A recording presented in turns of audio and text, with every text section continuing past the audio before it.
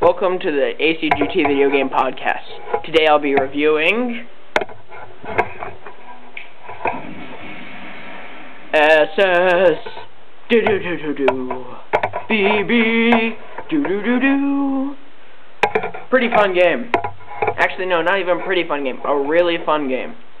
It definitely lives up to the potential that its fellow, that its predecessors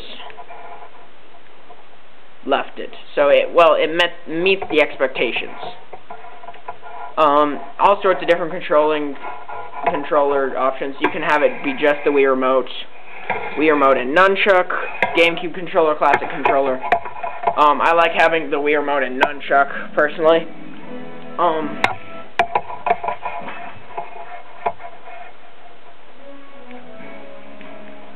uh, something that makes it really awesome is it's delicious, as just awesome story mode.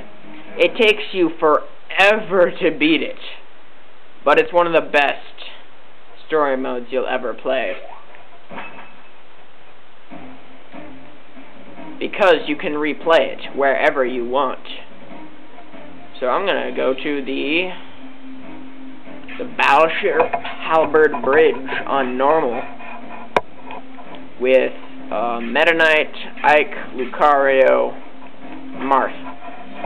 Probably my favorite characters are Marth and Samus, but I'd have to say I like this this this configuration for this level because this mother effer is a pain in the butt.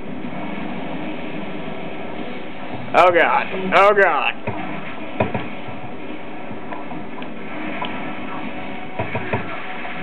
Um, it's basically the exact same thing as the previous games.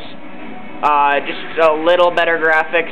Um, the story mode is much better, obviously. Ah, crap, I just got sucked into it.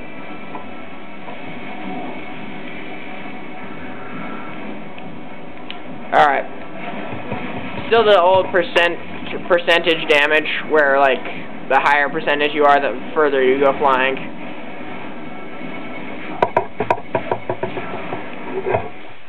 I won't make I won't make you watch me do all this. But um really awesome. It's Super Smash Bros is is was got its name because it was based upon its awesome multiplayer. And one, the only one of my beefs with this game, the one of the very few, is it automatically sets to timed. So if you're in a hurry and just want to get one through, and you accidentally start up at a time and nobody plays timed, it's just a pain, royal pain in the ass. But um, really, really fun game.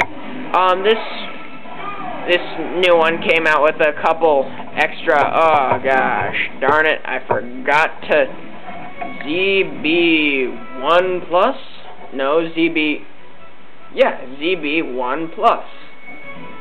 ZB1 Plus. Back. ZB. What more do you want from me?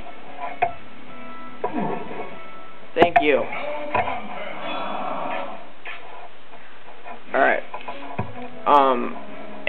You can also set it so that it's got your own con controller config, because I have very special needs and need my own controller config. Um, this new one has King Dedede Ike, which is basically just Roy, except just a little different. And um, King D, let's see, uh, it's got Pokemon Trainer, Lucario, Sonic and Snake. Um, trying to think. Uh, Wolf, Wolf, Falco, and Fox are the exact same thing, except Falco is a little different from Fox with his laser. Um, Wolf is a little different because of his laser also, and his little move, his um, his like jump, it goes up slightly. But let's see if I can actually get an ultimate. I'll show you because this game actually has ultimates. clock, you don't say. Haha, you're stumped.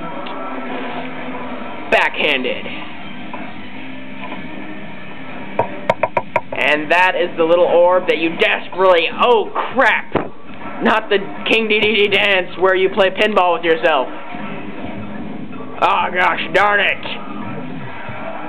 Ah. So those, that's the ultimates right there.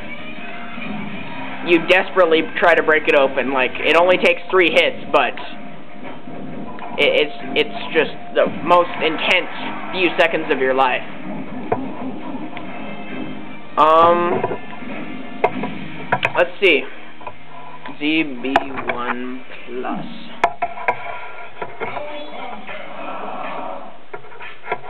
Alright, let's just look through all the characters. Obviously Mario, Donkey Kong, Link, Samus, Kirby, Fox, Pikachu, Marth, Mr. Game & Watch, Snake is new, so is Ike, so is Pokemon Trainer, Falco is from Melee, Meta Knight is new, Pit is new. Um, Zelda and Sheik are from Melee. Diddy Kong is new. Luigi from the original. Uh, Peach is from the oldest one, I think. It might be only from Melee. Yoshi, Ganondorf, and all those other good guys. Um, so I gotta go. Thanks for tuning into this ACGT video game podcast. Come back next